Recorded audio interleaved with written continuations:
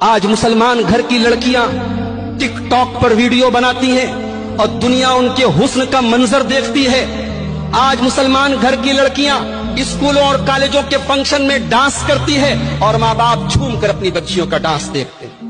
اور کوئی منع کر دے، کوئی سمجھائے تو کہا جاتا ہے تم کس دور کی بات کر رہے ہو؟ تم دقیانوس ہو، تم پرانے زمانے کی بات کرتے ہو، تھوڑے ماڈرن بنو۔ میرے بھائیوں جس گھر سے حیا چلی جائے، جس خاندان سے حیا چلی جائے، وہاں سے ایمان بھی چلا جاتا ہے۔ اللہ کے پیارے نبی نے فرمایا، ان الحیا والایمان قرنا جميعا حیا اور ایمان دونوں ساتھ ساتھ رہتے ہیں۔ فیضا رفیع احدهما رفیع الاخر جہاں سے حیا نکلی، وہاں سے ایمان بھی نکل گیا۔ آج ہمارے گھروں میں شادی بیاہ کے موقع پر کیا حالات ہوتے ہیں؟ آج ہمارے گھروں کی لڑکیاں، ہماری مائیں، ہماری بہنیں کیسا لباس پہن رہی ہیں؟ آپ بمبئی جیسے شہر میں رہتے ہیں، بتانے کی ضرورت نہیں ہے۔ آج ہماری عورتوں کے کپڑے ایسے ہو گئے کہ ان کے کپڑوں کو دیکھ کر حیا کو بھی حیا آ رہی۔ قرآن کریم میں ایک جگہ شیطان لعین نے قسم کھائی۔ میں دائیں سے آؤں گا، بائیں سے آؤں گا۔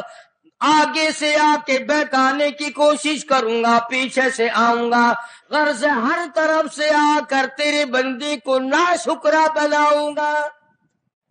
مالک کی کائنات نے مقابلے میں قسم کھائی۔ اللہ پاک جل شانو فرماتے ہیں اور شیطان مردود، میرے بندے کے گناہ سمندر کے جھاگ کے برابر ہوں، پہاڑ کے وزن کے برابر ہوں، درختوں کے پتوں کے برابر ہوں۔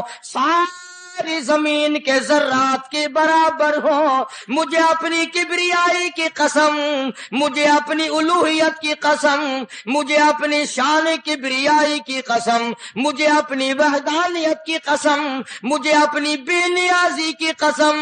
میرا بندہ کتنا ہی گناگار ہوگا، سر جھکانے کی دیر ہے، میں معاف کرنے کو تیار ہوں۔ اللہ کی کلامی پاک نے ابتدان اعلان کر دیا، فرمایا، یا بنی اسرائیل،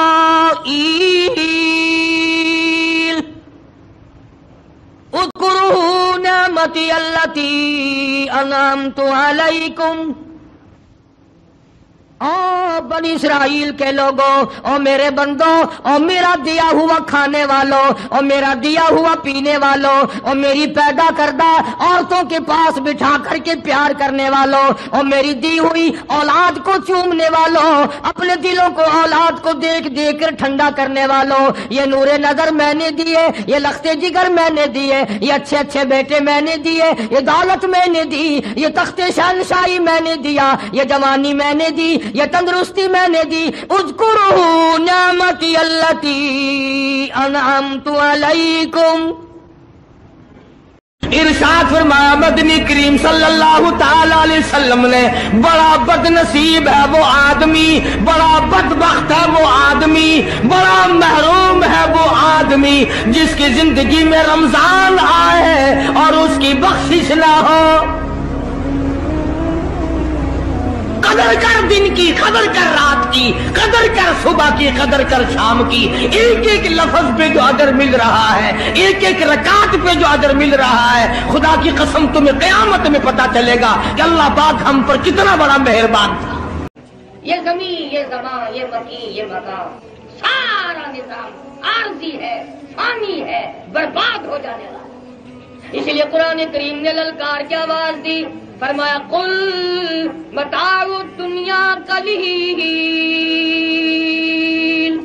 او لوگو، دنیا تھوڑے دنوں کا سودا ہے۔ بل آخرت خیر لمن اتقا۔ بلا تظلمون بدیلا۔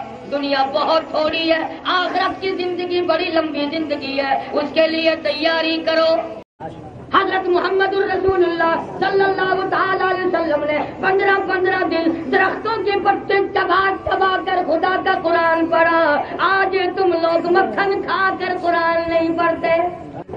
ایک نہیں، دو نہیں، ہزاروں صحابہ کرام گواہ۔ محمد کریم صلی اللہ علیہ وسلم کی ذات اقدس نے بھوک کی وجہ سے دو دو پتھر اپنے پیٹ پہ پان کر خدا کا قرآن پڑھا۔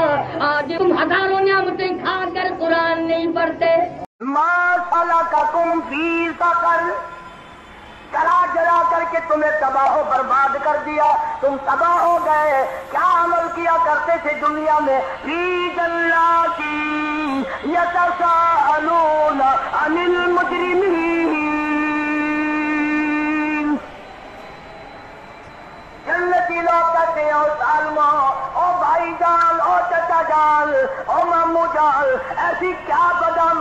کی، ایسی کیا بد کرداری کی، ایسا کیا ظلم کیا جو یہ برا حال بنا ہوا ہے؟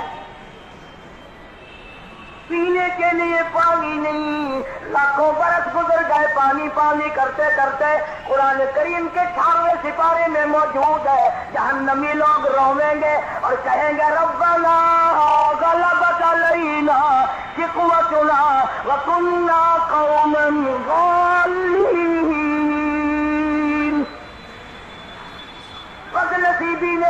نے گھیرا بدبختی نے ہمیں مارا، مقدروں نے ہمیں مارا۔ ہم گمراہی میں مر گئے، گمراہی میں پھنس گئے۔ برادری کی رسموں نے پھنسا لیا، خاندان نے پھنسا لیا۔